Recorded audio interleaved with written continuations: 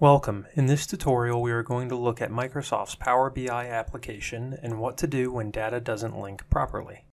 As you can see, I have a dashboard set up that represents employees in a global company. To view the tables that are represented in these charts, click the Data button at the top left corner of the dashboard. Here we can see each of the tables that represent the company employees.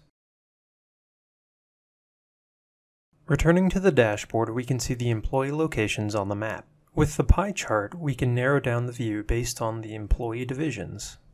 Using the donut chart, we can do something similar. Unfortunately, the donut chart does not appear to be working. This is observable as each of the selections in the chart are producing the same results on the map. This indicates that the data may not be properly linked. In my last video, I mentioned that Power BI automatically builds relationships between tables when the data is imported. In this case, that didn't happen across the three tables that we're working with.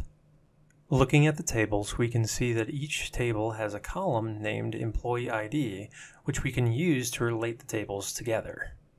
Click and drag the Employee ID column in the Roster table to the Employee ID column in the Hires table. This builds a one-to-one -one relationship between the two tables based on the Employee ID column. We can do the same for the employee IDs in the Hires table and the Terms table.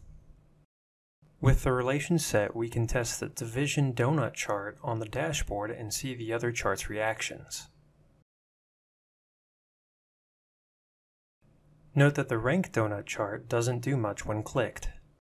With the table relationships properly set, we can make this chart more interesting. If we update the legend field with the division column from the hires table and update the details and values fields with the rank column, then the chart will adapt to the new information.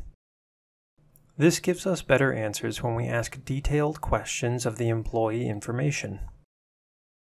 That's all there is to it. Thanks for watching this tutorial on data link issues with Microsoft's Power BI platform. Have fun visualizing.